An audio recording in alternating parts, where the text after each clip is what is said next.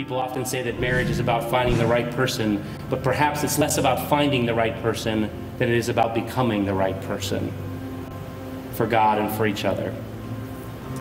Andy and Krystin, it's clear to me that you work hard to bring out the best in each other.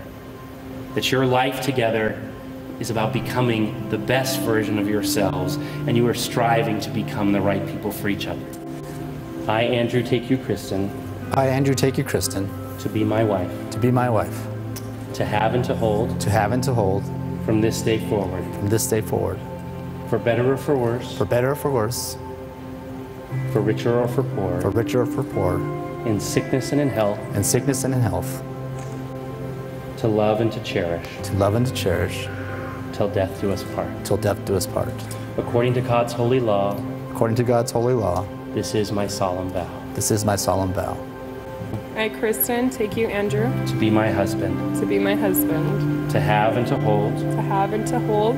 From this day forward, from this day forward, for better or for worse, for better or for worse, for richer or for poor, for richer or for poor, in sickness and in health, in sickness and in health, to love and to cherish, to love and to cherish, till death do us part. till death do us part. According to God's holy law, According to God's holy law, and this is my solemn vow. and this is my solemn vow.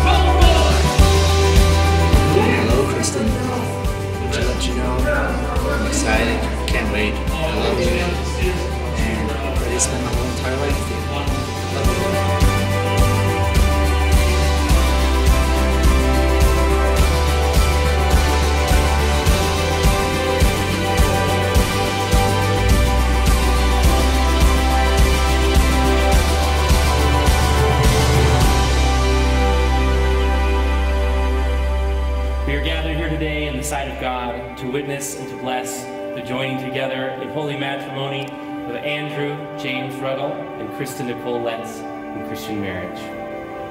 The bond and covenant of marriage was established by God in creation. With his presence and power, Jesus graced a wedding at Cana, and through his sacrificial love, gave us the example for the love of a husband and wife. I now pronounce them husband and wife in the name of the Father and of the Son and of the Holy Spirit. What God has joined together, let no one separate. You may kiss your bride. it is now my pleasure to introduce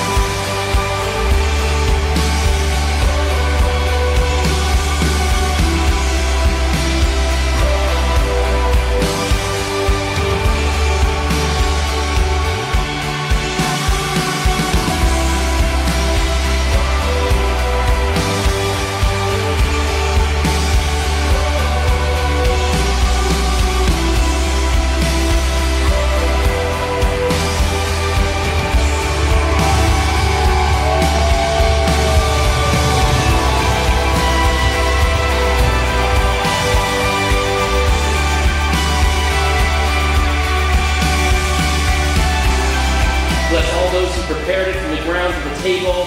Draw us all closer to each other and closer to you as we celebrate this wedding. We ask all these things in the name of your Son, Jesus Christ.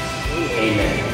have a glass, enjoy the moment, but make it a special night for both you and for them.